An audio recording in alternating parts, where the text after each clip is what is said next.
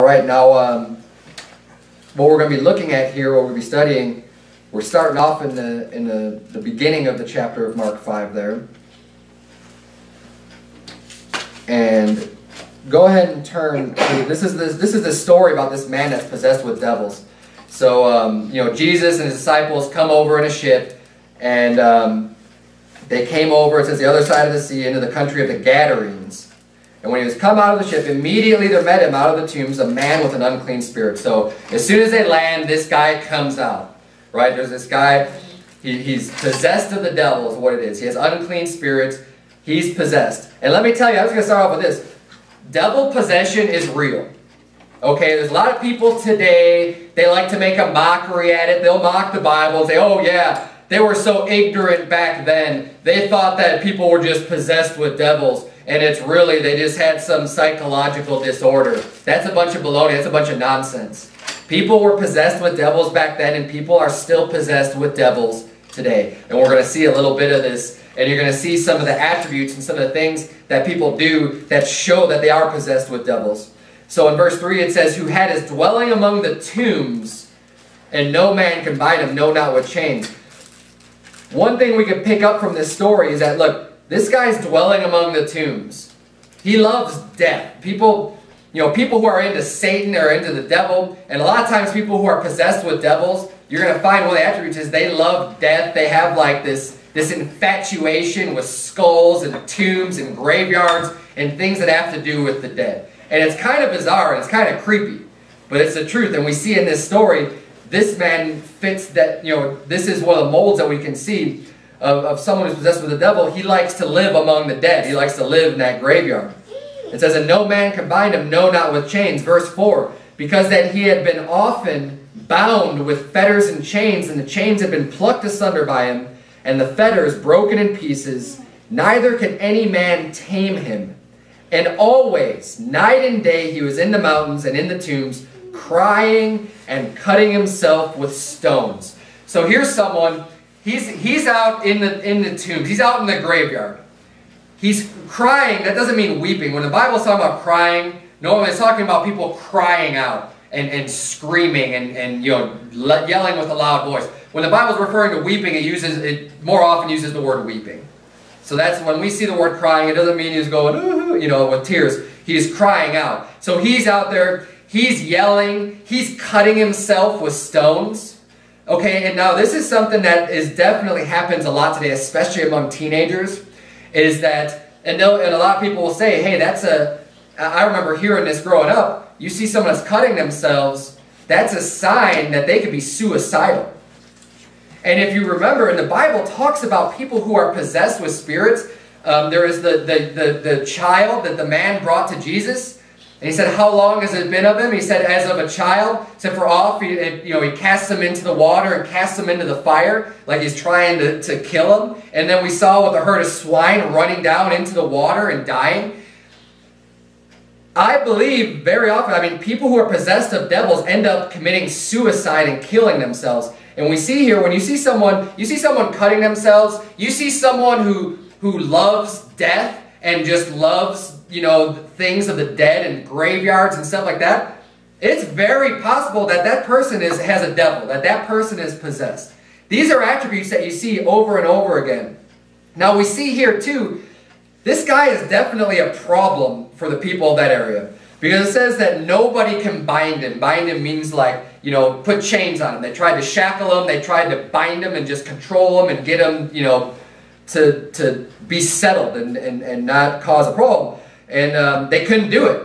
It says they, they often, so many times they, they tried to chain him up, they tried to bind him, and he was able to break those chains. He had this, it's a superhuman strength by being possessed by these devils. It's the only way to explain it. Because it says that the chains have been plucked asunder by him. They were just broken in pieces. And no one was able to bind him. So you have this man, no one's able to help him. No one's able to control him. And let me add this, you know, no amount of psychiatry or prescription drugs is going to fix that problem. If you have a devil, if you're possessed by a devil, modern medical science isn't going to help you. No, no shrink is going to help you. No amount of drugs that you take is going to help you. You need Jesus, and that's what Jesus you know, helps this guy. It says in verse, verse 13, and forthwith Jesus gave them leave, and the unclean spirits went out and entered into the swine, and the herd ran violently down a steep place into the sea. They were about 2,000 and were choked in the sea. Isn't it amazing? No man can help this guy. No man can control him. No man can tame him. Jesus Christ, in a word, sends out the devils. And this guy is just made whole instantly. He is healed. He is he's recovered from being possessed of the devil. The devils are all cast out when Jesus came and healed him. And that is this is the, the answer to those problems. I mean, this is the answer to all of our problems, of course. But coming to Jesus Christ, you know, there's certain issues, there's certain problems nobody's going to be able to help you with. But God is able to help you. Jesus Christ is able to help you.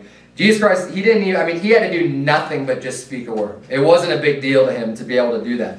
Now, that's not exactly what I'm preaching about. Just, this is just such an interest, interesting story, there's so much to be learned on this one story alone. But Jesus loved this person, this man, and, and had compassion on him. And, and I mean, this guy had multiple devils that he was possessed by. It says legion because we are many. So there was lots of devils that were, that were possessing this man. Not even a normal, I guess you could say a normal case of devil possession if, if there is a normal case, right? I mean, this guy had many devils that were living inside of him. Look at how many pigs, how much of that, how much, how many swine were killed there. In verse 13, it says they were about 2,000. That's a lot of pigs. 2,000. That's a lot. See, you can read these stories again. I mean, over and over again. It's, it's easy to read the Bible and kind of skip over stuff. Let's put that in perspective. I actually did a little bit of research last night to see how much is a pig worth. If I wanted to buy a whole pig, like if I wanted to buy the meat, you know, the, the livestock, just, just I want a pig because I want to eat that meat. Obviously, there's a lot of variables. I mean, how much the pig weighs, all these other things are factors. I came up with a very rough number of about $500. $500 for a pig. That's about reasonable. I don't know, um, for a full grown, you know, you want to get the meat off of the pig, about $500. Now, I remember what it was. I think I was looking at estimates of like $3 a pound or $2 a pound or something like that. But, I mean, whatever. Let's say, let's just say $500. 2,000 pigs at $500 a pound, or $500 a pig, that's a million dollars. That's a million dollars that went running down that, that cliff and went into the sea. And you say, oh, it's not $500, it's only $250. Okay, half a million dollars. right? I mean, I, don't, don't get too caught up with my estimates here. We're, this is a lot of pigs. This is a lot of livestock. This is a lot of property that gets destroyed. And it's important to understand that in this story. Because whether it's a half a million dollars, whether it's a million dollars, that's a lot of money. But that's how much value that Jesus Christ put on that one person. It was worth it for him to get that one man healed of those of those of those devils. For that one man to get saved, and I believe that man got saved. I mean, he wanted to follow Christ. He was, you know, obviously very thankful, but but that man got saved. That's how much that soul was worth, at least. Because Jesus just, in a word, I mean, it wasn't even a hesitation. It wasn't even a thought. Okay, yeah, go into the swine. And the swine ran melting down the hill. Now, how much value do you put on a person's soul? It's, it's an interesting point here. You know, we see Jesus Christ, that, that his soul was worth way more than 2,000 swine. Didn't even matter. Now we get to see the reaction of the people in that city. Look at verse number 14. It says, And they that fed the swine fled, and told it in the city and in the country. And they went out to see what it was that was done. And they come to Jesus and see him that was possessed with the devil and had the legion sitting and clothed and in his right mind, and they were afraid. They were afraid because, look, they saw, they knew who this guy was. This is the guy they tried to chain up. This is the guy they tried to control. This is the guy they tried to tame. And no one could do it. They couldn't do anything about it. They just had to basically just stay away from the guy. I mean, the guy in their mind, the guy was nuts. The guy was the guy was possessed. They, they couldn't do anything to help him. They just had to just let him be. But they were they see this guy now. He's sitting. He's normal. He's got clothes on. That was the other thing too. I forgot to point out. The guy was naked. Right. I mean, the guy's just naked in the tombs and cutting himself and doing all this stuff. Now he's clothed. He's coherent. You can have a conversation with the guy. He's, he's acting normal. And that kind of scares him. And it says in verse 16, it says, And they saw, and they that saw it told them how it befell to him that was possessed of the devil. So explain what happened. They saw, you know, people that were that were that were um, in charge of the swine. They saw what Jesus did. They saw him come up to him, and they saw the, the devils get depart. It says, and also concerning the swine. And they began to pray him to depart out of their coast. So they tell about the guy. They say, oh yeah, yeah, this guy, you know, this guy came down and you know, Jesus cast out the devils. Oh, and then the swine all ran down into the into the sea and, and died. They didn't like that. You see, I mean, besides the one owner or however many owners there were of the, of the swine, you got to imagine the people of that country, the people of that city, I mean, they were probably relying on that food too. I mean, it's not just the wealth of one person. I mean, other people benefit from, from the swine in that country. Um, I don't know. I mean, the Bible doesn't tell us what their access to food and you know how many other resources they had and stuff like that. But this is a significant deal. I mean, this is 2,000 swine is a lot. That's that's a lot. That's a that's a big hit on their local economy. Okay, that's a big deal. But it, now what? And this kind of brings me to my point. What the whole all that is is mostly introduction about this story. But what, what I'm preaching on today is why is Jesus cast out? Why is Jesus just rejected and kicked out of places? Because we see here in verse 17, and they began to pray him to depart out of their coasts. They realized there was a big miracle done here. I mean, he did something that none of them were able to do. He was able to get this man healed and recovered of that devil. They had more value in that swine than they did of that man. They did not love that man the way that Jesus loved that man. The swine, they wanted Jesus gone. They did. They saw what happened. They, they took everything in. They said, okay, well, we lost all these swine, but here's this man sitting here and, and, and healed and recovered. And they asked Jesus to leave. Jesus, we want you out here. And unfortunately, this is one reason why people don't want Jesus in their lives. They don't want to follow Jesus. It's because of financial reasons. It reminds me, this story um, reminds me of another story in the book of Mark. You're in Mark chapter 5. Flip over to Mark chapter 10. Jesus getting kicked out for financial reasons. People not wanting to follow Jesus for financial reasons, for a financial gain. The treasures of this world are just too much for people to want to, to want Jesus in their life. And um, you know, the cost was just too much for him. Look at verse number 17 of Mark chapter 10. It says, And when he was gone forth into the way, there came one running and kneeled to him and asked him, Good master, what shall I do that I may inherit eternal life? He wants, this guy wants eternal life. And Jesus said unto him, Why callest thou me good? There is none good but one, that is God. Thou knowest the commandments, do not commit adultery, do not steal, do not or do not kill, do not steal, do not bear false witness, defraud not, honor thy father and mother. And he answered and said unto him, Master, all these have I observed from my youth. Liar. but um, anyways, verse 21, Then Jesus, beholding him, loved him, and said unto him, One thing thou lackest, go thy way, sell whatsoever thou hast, and give to the poor, and thou shalt have treasure in heaven, and come, take up the cross, and follow me. And he was sad at that saying and went away grieved, for he had great possessions. And Jesus looked round about and said unto his disciples, How hardly shall they that have riches enter into the kingdom of God? And the disciples were astonished at his words. But Jesus answered again and said unto them, Children, how hard is it for them that trust in riches to enter into the kingdom of God. It is easier for a camel to go through the eye of a needle than for a rich man to enter into the kingdom of God. And they were astonished out of measure, saying among themselves, Who then can be saved? And Jesus, looking upon them, said, With men it is impossible, but not with God, for with God all things are impossible. This story, this story is amazing because that man, apparently he cares more about his physical possessions he cared more about the stuff that he owned than eternal life. I mean, his question to Jesus was, What do I need to do to get eternal life? What a small value he put on eternal life. I mean, it blows me away to think about the I mean, living forever with God in heaven. Going to heaven and having your soul just live forever and, I mean, eternal. Forever. Oh, but I have these riches in this lifetime, I'll be around for 10 years, 20 years, 30 years if you're lucky. I don't know. I mean, I don't know how old this guy was. I mean, if he was a, a young man, I, I don't remember. I don't. There's other accounts of the story, but regardless, it doesn't matter how old he was.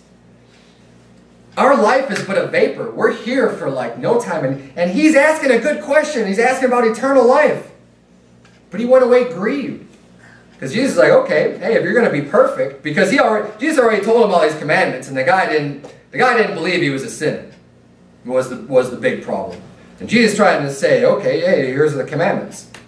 You know, the proper response would have been like, oh, I've screwed up. What you know? Because his, his question was, what may I do that I shall inherit? This guy's thinking, what kind of works do I need to do?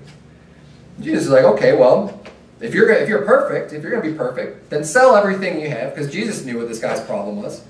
Sell everything you have, you know, take up a cross and follow me. And, um, and he didn't want to do it. He had many possessions. He had great things. So one of the reasons why Jesus is cast out, one of the people, reasons why people don't want to have anything to do with Jesus is because of finances. It's because of the riches of this world. They're, they're deceived. They're caught up into these things, this, this, this stuff that's all going to be burned away anyways when, when God comes and brings forth his judgment on the earth. This stuff isn't going to stand. Even the gold, the silver, whatever it is, this stuff is just going to be gone. God's going to do away with all of it. It's not going to, it's going to mean nothing. And that's where he said, how hard is it for them that trust in riches enter the kingdom of God? If you're trusting in your riches, that's not going to get you into heaven. And what kind of value do you have on eternal life that you're, you're not willing to give up a physical possession on this earth? And we saw that um, with the swine, and we see that here in this story. And um, you don't have to turn there, but in Mark 8.36 it says, For what shall it profit a man if he shall gain the whole world and lose his own soul? Or what shall a man give in exchange for his soul? Your soul has a lot of value. Everybody's soul has a lot of value. More value than any money in this world can, can value. And we see that demonstrated with Jesus Christ in that story with casting out the devils and the swine. And we see that here. I mean, if that's all this guy had to do, think about how easy that would be. Just, hey, give up your riches. You could have eternal life.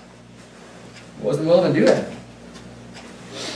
Jesus gets kicked out in many places because people are, just, are also they're more interested in making money than they are in the things of God.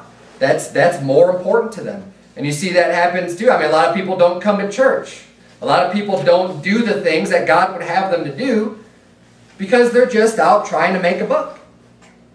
And I'll tell you what, you know, the Bible says, um, seek ye first the kingdom of God, you know, and, and his righteousness, and these things shall be added unto you. He's saying, don't worry about your food. Don't worry about your clothing. Don't worry about the physical things in this world. I know you need them. God's not dumb. He knows we need stuff to survive. But he says, I'm going to take care of you. Seek ye first the kingdom of God and his righteousness. Do that first. God wants us to obey him first. So that's why in my life, I put church first. I'll put serving God first. I know I need to go to work and earn, and, and earn money to support my family, and I do that. But what I'm going to put first are the things of God. That's what comes first, and that gets the priority. If something has to give, well, it's not going to be the Bible. It's not going to be church. It's not going to be winning souls. That does not get put to the side. Other things are, are way less important. And we need to have that proper priority. I mean, the priority on your soul, right? Reading the Bible, obeying God's commandments, going to church helps your soul. Going out and making a buck doesn't do anything for your soul. I mean, that just that keeps you clothed and fed and, and you know, whatever. But God already promised to take care of you, so that shouldn't even be a concern anyways. God will take care of his people. God will take care of you. So, yes, I'm not saying go don't go out and work either. I'm not saying that. Just don't don't make that consume you and become your life so that you don't have time for God. You don't have time for the things that are that are really and truly important. Put the value on the things that are truly more valuable.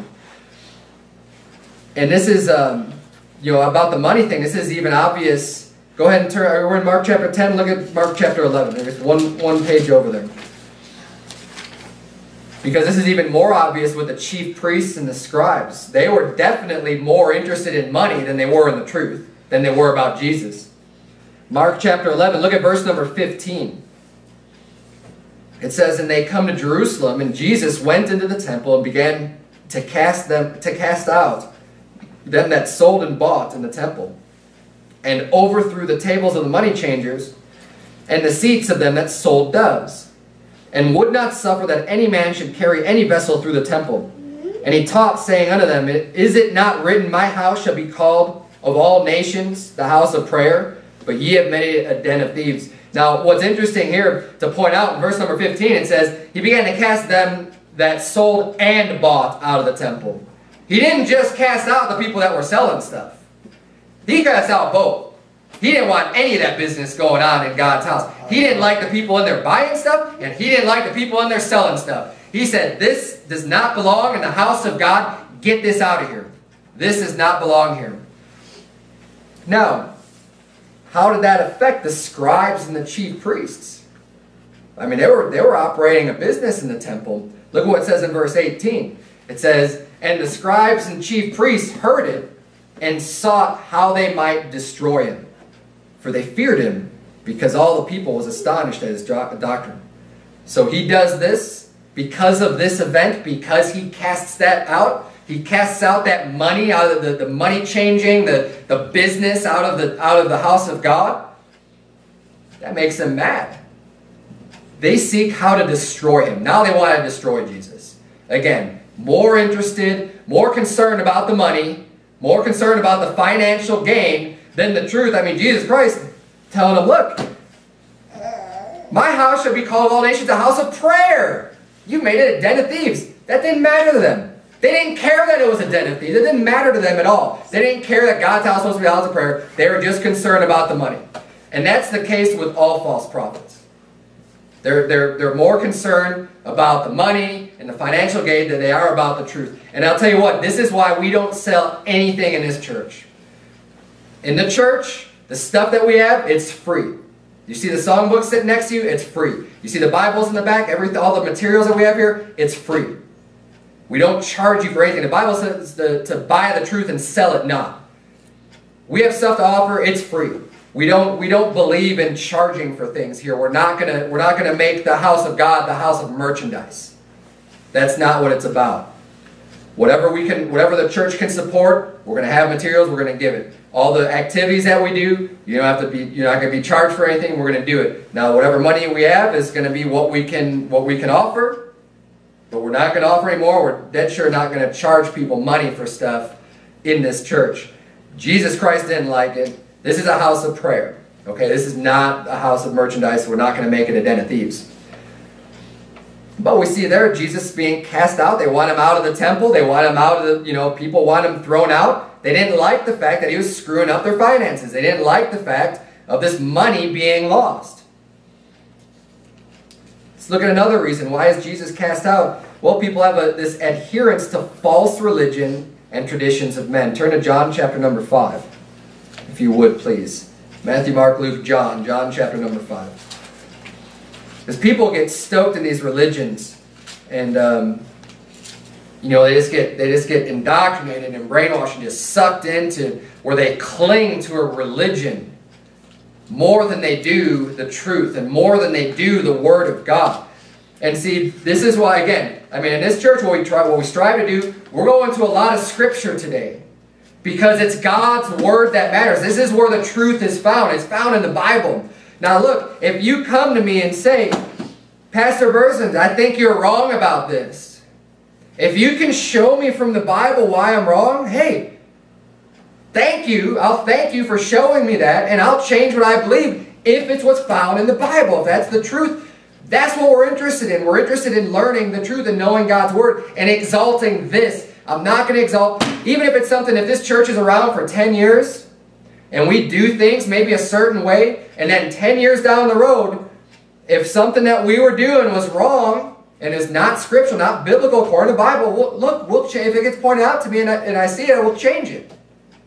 I'm not going to be worried about tradition. I'm not going to be worried about some religion. I'm not going to be worried about what other Baptists do. I'm not going to be worried about that stuff. I'm worried and more concerned about the truth. But see, a lot of people today, they care more about their religion and just say, well, this is what I was taught growing up, and this is what we've been doing, and this is just the way it is, and they're stuck in that religion, they're stuck in that mindset, and they don't want to change anything, when even when confronted with just, this is, look, it says right in the Bible right here. And I have this problem all the time. I go out soul winning, I talk to, you know, Jehovah's Witnesses, especially like in a lot of these other cults and these false religions where they're just like, like I try to show them, look, the Bible says that God was manifest in the flesh. I mean, it says it right there. You, you just, you're, you're being stubborn. You don't want to just look at what it says and just accept it. God was manifest in the flesh. I mean, what more do you need to see? And I'll show lots of other scripture verses to say, look, and try to plead with these people, but no. No, no, no, no. That's, that's not what I was taught. That's that's not you know, and, and people can't have this this strict adherence to some false religion or traditions of men. Look at John five verse sixteen, verse number sixteen of chapter five of John. It says, and therefore did the Jews persecute Jesus and sought to slay him, because he had done these things on the Sabbath day. But Jesus answered them, My Father worketh hitherto, and I work. Therefore the Jews sought the more to kill him because he not only had broken the Sabbath, but said also that God was his Father, making himself equal with God. So here we see people, look, they're trying to kill him. The Jews at that time, yes, they were involved in a false religion. Okay, the ones that didn't accept Christ, that didn't believe on Christ, that claimed to believe in Moses and the law, see, they were infuriated because they were so focused in on, on certain aspects of the law. And it was only certain aspects of the law because they didn't follow all the law. They were hypocrites. But they were, they were so focused on these certain aspects and they didn't even fully understand the law, right? So they're talking about, and, and one of their big things was the Sabbath day, the Sabbath day, the Sabbath day. You can't do any work, you can't do all this stuff. And over and over again, you'll find in scripture, Jesus Christ is saying, look, which one of you having an ox or an ass stalled, you know, like, he falls into a ditch on the Sabbath, it's not to get that get him out. You know, he's like, he's pointing out, look, it's lawful to do good on the Sabbath, like when he was healing people, and the people just got infuriated. And funny, the thing is, like, what work did he even really do? I mean, Jesus healed someone, but like, I mean, he wasn't actually like, like, I don't know, performing work. I mean, he would just like say like, be thou healed, and, and the person's healed and they're like just getting infuriated. Oh, you're doing work on the Sabbath day and all this stuff. But this is this is these people that had this this strict. And you know, this, let me say this: there's nothing wrong with being strict. Okay, well, I, I'm I'm strict. I would be strict in God's word and in the truth. Okay, I'm going to hold that strictly. I'm going to try to adhere to that strictly. But these people were were stoked in this false religion, and they were giving more credence to a lot of times the traditions of men than to the truth and to what Jesus Christ had. And these people here in John chapter 5, they definitely were not saved. I mean, they, were, they did not receive Christ. They were going about to kill him. And it's even evidence in, in later down in the, in the chapter, look at verse number 38. They wanted to cast him out, they wanted to kill him. And Jesus explains that, look, they're not saved. Look at verse number 38 says, And ye have not his word abiding in you. For whom he hath sent, him ye believe not. So he's saying, look, God's word is not in you because God sent me is basically what he's saying, and you haven't received me. Verse number 39, Search the scriptures, for in them ye think ye have eternal life, and they are they which testify of me. So he's saying, look, check the Bible. Compare it to the Bible. Search the scriptures, which is what, what we all should be doing. Search the scriptures. When something's being taught, search the scriptures. See if that's true or not. And a lot of times people are just too focused in on their, on their religion that they grew up with, and they don't search the scriptures. They're not looking at this stuff. Jesus tells them, look, search the scriptures. And these are people who are claiming to believe in the scriptures. Because he says, um, and they are they which testify of me, and ye will not come to me that ye might have life. I receive not honor from men, but I know you that ye have not the love of God in you. I am come in my Father's name, and ye receive me not. if another come, shall come in his own name, him ye will receive. How can ye believe which receive honor one of another, and seek not the honor that cometh from God only? Do not think that I will accuse you to the Father. There is one that accuseth you, even Moses in whom ye trust. So he's, he's, he's admitting here, he's saying, look, they believe in Moses, or they're, they're claiming to believe in Moses. They say they trust in Moses and in Moses' law, and Jesus is saying, look, I'm not going to accuse you to the Father. You already have an accuser. It's Moses. Moses is going to accuse you. It says in verse 46, For had ye believed Moses, ye would have believed me, for he wrote of me. But if you believe not his writings, how shall you believe my words? Jesus saying, look, you don't believe what Moses wrote. Moses wrote about me. The, the law was a shadow of things to come. A lot of the things that were that Moses wrote about, about the lamb, about the sacrifices, was all about Jesus Christ. Jesus Christ coming to pay the sins of the world.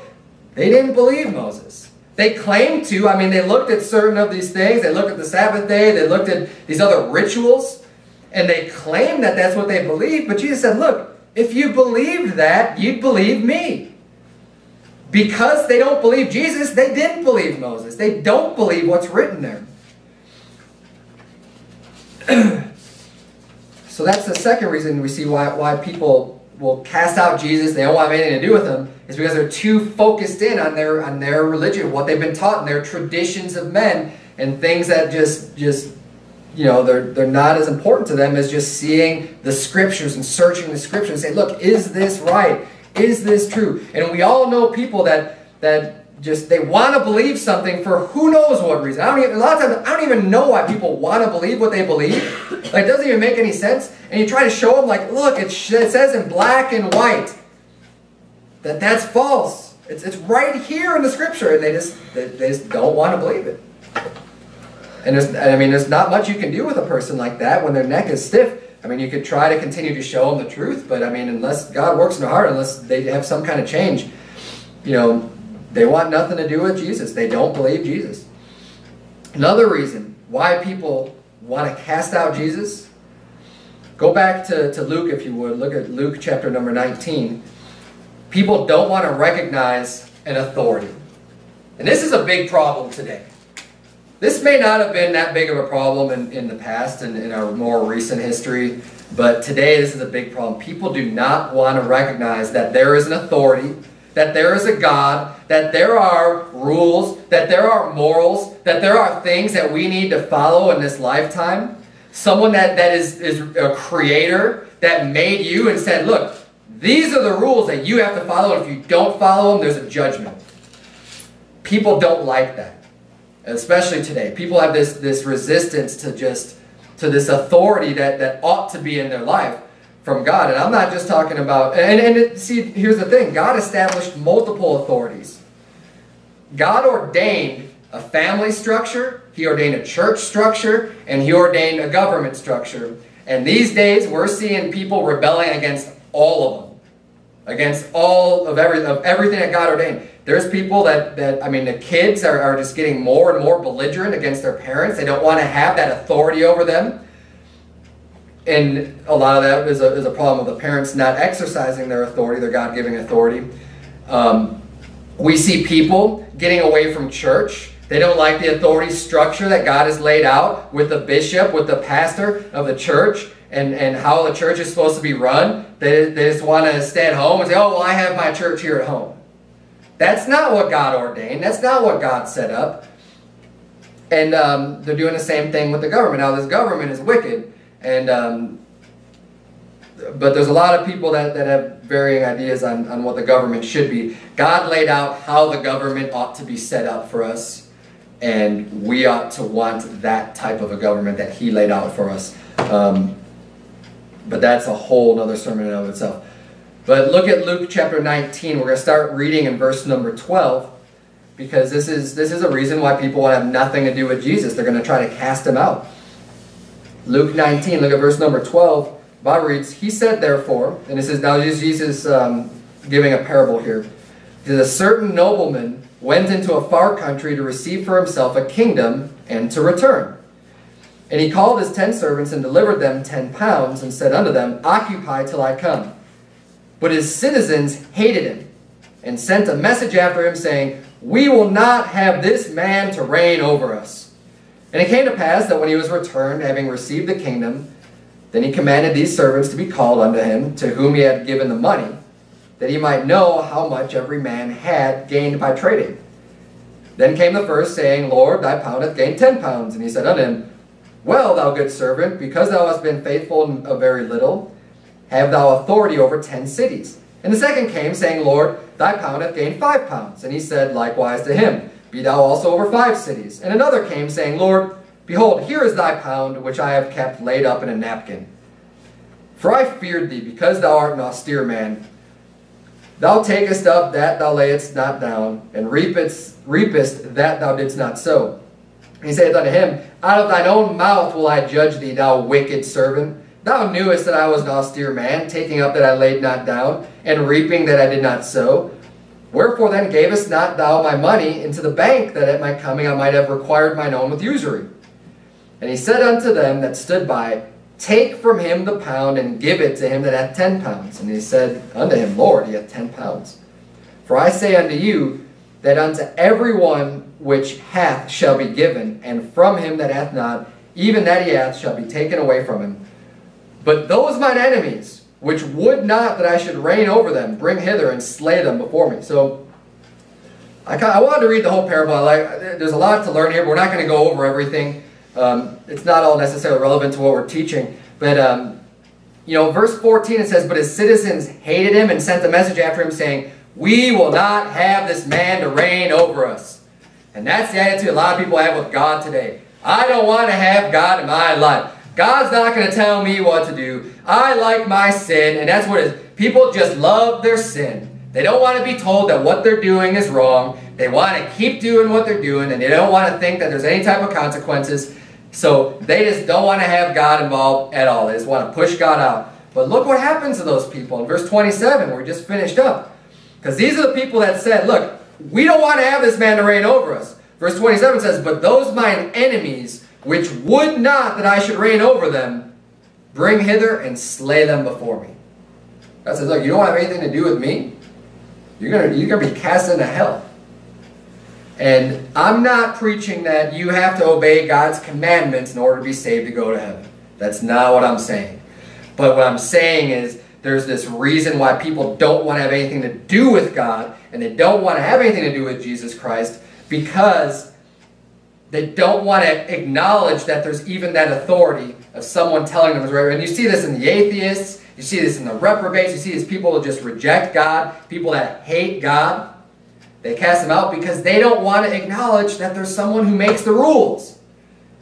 They want to think, and that's why they, they, they profess themselves to be wise and they become fools and they make up fairy tales saying that, yeah, we all evolved from nothing and, and all of a sudden nothing exploded and made everything. And, and there's these, these microorganisms that turned into other creatures and we're just apes.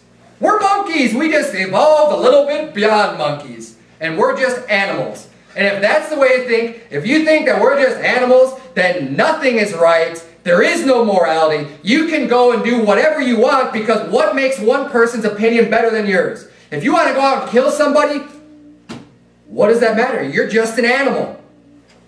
You can do whatever you want. There's no consequences for that. Why? you have no way, no, and if someone says, well, no, that's not right, you can't, why? Why? Who makes the rules?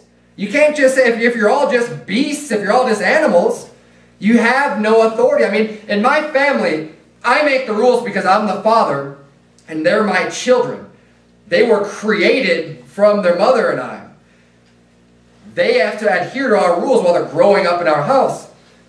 That's an authority structure that they have to abide by. But if we're all just beasts and we're all just animals, there's nobody over us. If there's no God, there's nobody over us to make a rule. If you say I shouldn't kill someone, well, that's what you think. You can't impose that on me. You're no better than me. That's where that thinking gets you. And that's where this foolishness comes up from. God created us. And see, people don't want to acknowledge that because God's got some rules, and some these rules people don't like. They don't want to hear it. They don't want to listen to it. But God made them, and He made them for a reason. And it's for our own good. That's the fool, the, the ultimate foolishness that these people don't realize. God's rules are not to hinder you and to keep you from having fun. They're for your benefit. He knows what's best for you. The same way that my rules for my kids, it's not because I don't want them having fun. It's not because I don't want them having a good time. I love it to see them joyful and happy and playing and doing stuff. They have rules for their benefit. Because I know what's better for them than they know. And so much more does God know what's better for us in our little human comprehension. The God that makes everything by speaking into existence knows a little bit more than we do. He knows what's best for us. He gave us these rules. But see, people don't want to hear them. And that's why we have today, we have Jesus Christ being kicked out of the schools. He's being kicked out of the government. He's getting kicked out of people's personal lives. Everywhere, Jesus is getting thrown out. Why? People like their sins. They don't want to be told that what they're doing is wrong. They don't want to acknowledge that there is a creator, there is a there is a God, there's an almighty being that is telling us this is right and this is wrong. And that's the way it is. People don't want to recognize that and have the Bible be their authority. And then uh, in, in closing here, we're going to go ahead and turn to 2 Timothy chapter 3. It's going to be the last scripture we turn to, 2 Timothy chapter number 3. Because these are the times that we're in. And it's only going to be getting worse. Okay? This last point of people not wanting to have God, people rejecting God, and again, I, real soon I'm going to do a sermon on this about reprobates, about people who just reject God, people who are rejected by God, people that hate God, because this has a big impact in our life, just just on their agenda and on what they're doing. And um, 2 Timothy chapter 3 kind of shows us these types of people. And look at verse number 1 of 2 Timothy chapter 3. The Bible reads, This know also that in the last days, we're in the last days, my friend, and in the last days perilous times shall come. Perilous means dangerous. It says, why is it going to be perilous? Verse 2 for men shall be lovers of their own selves. They love themselves. They're not worried about other people. They're worried about themselves. They're lovers of their own selves. Covetous, boasters, proud, blasphemers, disobedient to parents. Look at that. They're disobedient. They don't want to have authority. They're disobedient to their parents. Unthankful, unholy. Verse 3, without natural affection. That's the sodomites, the homos truce breakers, false accusers, incontinent, fierce, despisers of those that are good. They hate people that are good. Traitors, heady, high-minded, lovers of pleasures more than lovers of God. And that's it. They like their sin. They like their pleasure. They don't love God. That's what they want to do. They don't want to have Jesus Christ in their life. They don't want to have that. It says in verse 5, having a form of godliness, but denying the power thereof. From such, turn away. Have nothing to do with those people. These people that are described here in 2 Timothy chapter 3, lovers of their own selves, lovers of pleasures more than lovers of God, you know, all these attributes. And it says they have a form of godliness. They might go to church somewhere. They might, you know, they might look like they have some form of godliness, but they deny the power thereof. They're not actually acknowledging the Bible and God's Word and the Scripture. It says, from such turn away. And in um, 2 Peter chapter 2, you don't have to turn there, 2 Peter 2.10 says, But chiefly them that walk after the flesh in the lust of uncleanness and despise government. Presumptuous are they, self-willed. They are not afraid to speak evil of dignities. These are, again, it's talking about the same type of people here. People that walk after the flesh, people that just, if it feels good, do it. That's what I want to do. I don't want to have God telling me what to do. They're going to kick out Jesus. And it says here they despise government. Now it's interesting. I did a word search on the word government. And it's only found, I think, four times in the Bible. Three times in the book of Isaiah. And all three references are talking about Jesus Christ and his government. It's not, talk, it's not even talking about like, like when we think of government, I mean, we think of, of the state of Arizona, the federal government, and all these things. When the Bible uses the word government, that actual word Government is found four times. Here in 2 Peter chapter 2, And it's talking about people that despise government. Every other time that's, that's talking about government, it's talking about Jesus Christ. It's talking about his government and him ruling and reigning over us. So when this is talking about in 2 Peter 2, this is talking about people that, that despise Jesus. They don't want God ruling over them. They don't want that in their life. So lastly, why is Jesus being cast out?